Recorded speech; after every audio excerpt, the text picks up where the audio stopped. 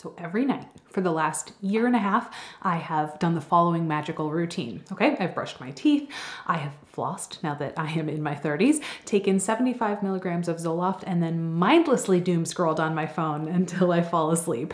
And I have no intention of changing at least the first three habits anytime soon. Here's why.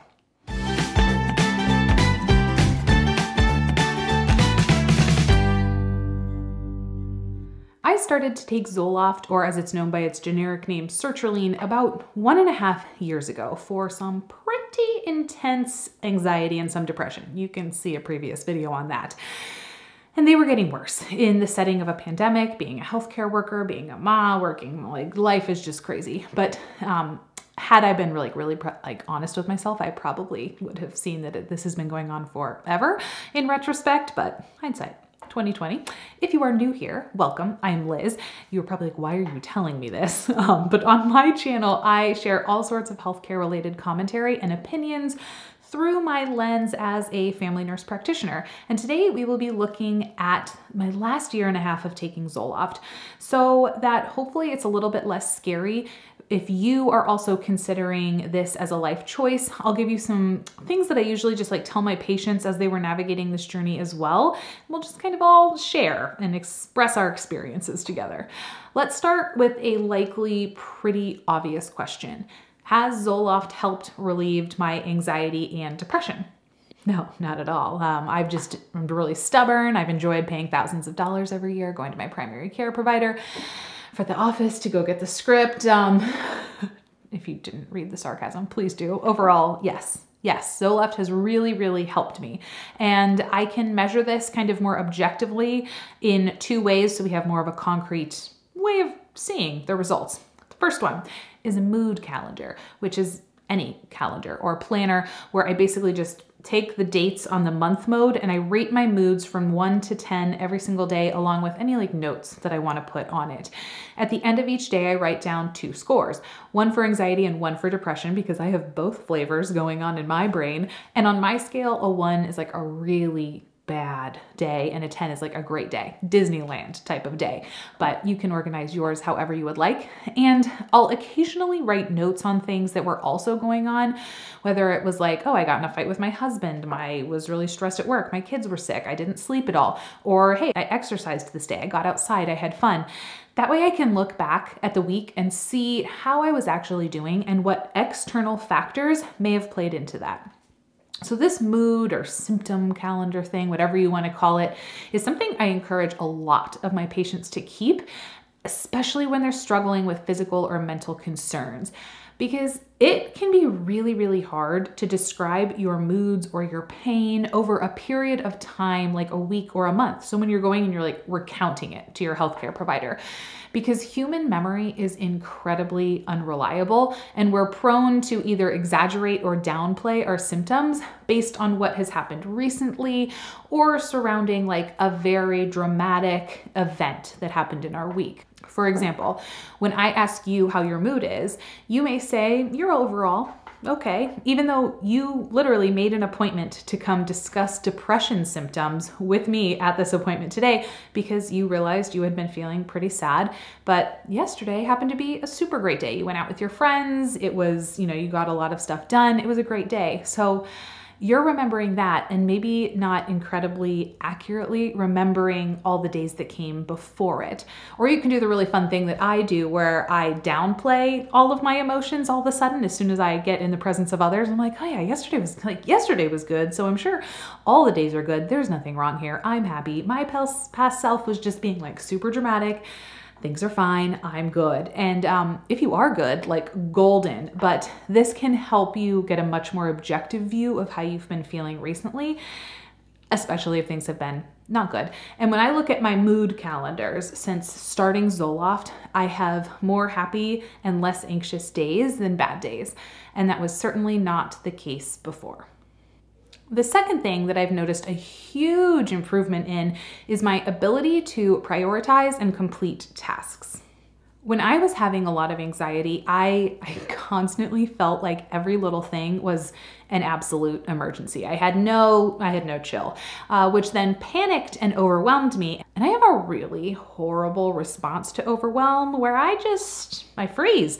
Like if I was in any type of like zombie apocalypse, I would just be immediately die because I am 100% the freeze part of fight, flight, or freeze. And if you can imagine, if you're overwhelmed and everything seems like an absolute emergency, there's no ability to prioritize tasks. So I just stare at all of them, unable to start them because I don't know which one is the most important. And then I don't get them done, and then more tasks pile on top, and then this cycle just it keeps going. Anyone else? I know I can't be the only one, but starting Zoloft helped so much with this. I'm not saying like I don't freeze and with overwhelm anymore, but once I have a moment or a day, I can usually come back to the situation prioritize it, and come up with an action plan, which is a huge improvement from the indefinite paralysis from before. So I actually get things done now, and it's a delightful and concrete, measurable improvement. Side note, if you struggle with overwhelm paralysis related to anxiety, I have a little tip to help you maybe combat that. I've recently discovered it and it's worked pretty well, for me at least. There's an app, it's called AnyDo. It's a digital to do list, and in it, you can create different categories that you can make. Um, I think it was like $30 a year on the App Store, and then they have a app like for your desktop as well. It syncs to your phone and your computer. It'll send you reminders, and it's really convenient for brain dumping all of the different things that you need to do. And you can set due dates, you can prioritize within it. If you need a digital prioritization planning tool, I like this one, and it keeps me from like doom spiraling most days. Now, you might be sitting there like, um, uh, hey Liz, um, doom spirals sound bad. Are those normal? I will let you know right after a word from today's sponsor. This video is sponsored by me and my primary care digital nurse practitioner binder. If you're an advanced practice provider working in primary care, this could very well be for you. In it, I put all of the notes I've made myself over the years, guidelines, cheat sheets that I've made, as well as patient handouts. It's a one time fee, and I do quarterly updates so it's up to date with practice. Check out more in the description below. Welcome back. I do want to reassure you, fellow doom spiralers, that they can be very normal. Remember, anxiety and depression medication like Zoloft they help to reduce the overall anxiety and depression, especially the peaks. We're going to kind of just like flatten those out, but it doesn't eliminate the hills entirely, right? So we still have those feelings a lot of the times if your medication is dosed correctly, you should still have all the feels, all the feelings, because feelings are okay. It's when we have so many feelings that we can't function and we can't do things that we want to, that is when we have a problem. Also, there are good feelings, happiness, joy, laughter, all the good things that we want you to keep. And dosing too high can actually squash the good feelings. So work with your healthcare provider to find the sweet spot and do other things to reduce anxiety and depression, to support symptom management.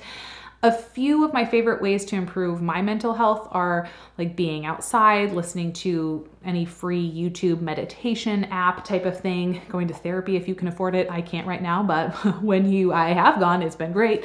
Um, getting enough sleep is also huge. Your mood cannot regulate if you are exhausted. And practicing setting really solid boundaries is key. Seriously, saying no to things or people is a superpower. Use it. And if anyone is pushing a boundary that you don't like and they get grouchy, that is a them problem and that is not a you problem. You need to protect you and your space. How they react is their problem. So let's take a quick look at this graph real quick, and I will show you that with a little bit of store-bought serotonin, we can really help get your brain to a much more stable place where there aren't so many mountains and valleys of doom. Things are just like a little bit more chill overall, and all seems like this seems super good, right? Well, well, you thought. I I, if you didn't know, am the embodiment of Eeyore as a human. So obviously I will find a downside to this. This plateau of peace it looks nice, but it can be a trap because you can be feeling good for a really long time and get used to that feeling good feeling, forgetting about the peaks and valleys of doom and why you started the medication in the first place and think, hey, I don't think I need these meds anymore. I feel great. I have had a few of these moments while taking this medication. Granted, I've had pretty few of them because my brain is pretty angsty all the time. So I haven't hit enough of those like, wow, my mood is nine out of 10 today and tomorrow and the next day. And I don't get enough of those in a row to really consider this. But I wanted to touch on this trap because it is something that happens so often with my patients. They will start the medication, they're doing great. A few months go by, they have felt better for a while, and then they come in and they say, Hey, I want to get off my meds. I think like I'm better, I'm doing great. And I just want to be clear here. First of all, this is not medical advice. Second, I am not against you going off of meds. It is your body, it is your choice. You do you. But just pause and remember if you're taking meds and considering stopping, you may be feeling better because of the medication. And you also like because of the medication may now have the mental energy to do other things that also help your mental health. Maybe now you're like i can imagine doing yoga. I can imagine going on walks outside. I'm getting stuff done finally. So one thing I used to do to help decide if like coming off of meds was maybe a good choice for my patient, we would look together and see was this like what led up to you starting meds? Was this a pattern over a long period of time? You know are we looking at like months and years of having these symptoms? Or was it a shorter term? Like maybe you are going through a divorce or you are having a really stressful year in school if it's a shorter term thing, then I'm much more likely to be like, yeah, let's trial off of it and see because it was situational, most likely, and that situation has stopped. However, if you're in the camp of like, oh, this has been going on for months and years, I'm more hesitant to be like, yeah, as soon as you're feeling good, like, let's rip that right off. Like, you're probably fine because it's more likely that the underlying condition has probably not resolved. Anyway, feeling good is the goal. Remember that. So um, just be cautious when you're walking that uh, little rope. Um, always, like I said, your body, your choice, you do you. Um, but just be cognizant that this, it, it might be a trap. You want to know what else is a trap? Side effects. What side effects have I had? This is a very common question that I get and I haven't really had it that bad. A major side effect that I've had like the entire time of taking it is night sweats. Poor husband. I have also gained like 15 pounds since starting the medication, but I can't confidently say that this is because of Zoloft uh, because I have also stopped exercising and restricting my food intake as strictly as I was before because I'm a lot less anxious, I'm less angry at myself, I'm less fixated on food there's just a lot less anxiety and like self deprecation since I've started. So things have gotten a little bit more relaxed. Um, so there's that. I have a whole video where I discuss weight gain and anxiety and depression medication if you want to hop over there after this. But those are pretty much, I mean, my two big side effects. There are quite a few more side effects that people commonly experience with um, with these medications, however. And I have a whole video on what most of the side effects are, how long, you know, are these going to be side effects we only see in the beginning and then they go away, or are these ones that are likely to stay? Are there fixes for it? And then what are like the red flags, like if you have this, immediately stop taking it type of side effects? I feel pretty lucky that I've only had to deal with those two things long term, and all of my short term symptoms um, had gone away within three weeks of starting. I talk about those in my like starting Zoloft video. So, all in all, I have had a pretty good experience taking Zoloft, which leads me to the question of how long am I going to take it? And personally, I have no plans of coming off of it. I wouldn't stop a blood pressure or thyroid medication because my blood pressure or thyroid function had now normalized once taking medicine. And I look at this the exact same way. I will continue to support my body with things that also improve my mental health while also bowing down to the SSRI Zoloft gods for sending my synthetic serotonin to me. And I want to try to quell some fears. You know, if you're anytime you feel like you talk to people about starting medication like this, there people are going to shove random studies at you showing the potential risks of being on Zoloft long term.